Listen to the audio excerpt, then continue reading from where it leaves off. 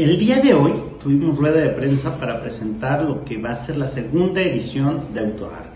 Estamos muy contentos porque hicimos una alianza muy importante con Nariz Roja y el día de hoy en la rueda de prensa con Alejandro, director de Nariz Roja, me decía, oye, pues esa barba te la conozco desde hace muchos años y creo que sería una buena donación.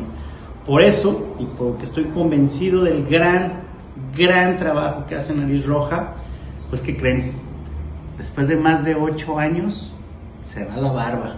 Por eso les pido que nos ayuden, aviento el reto a que nos ayuden a sacar una lanita para Nariz Roja.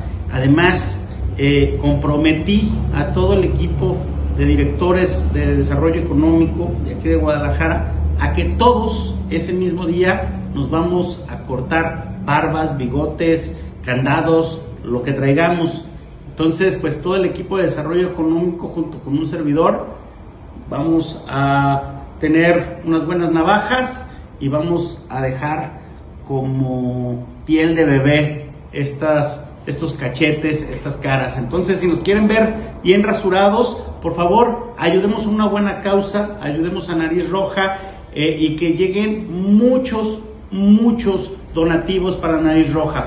Pronto me voy a quitar unos años de encima de estas barbas canosas. Muchas gracias y saludos a toda la gente que sigue a Nariz Roja. Bye.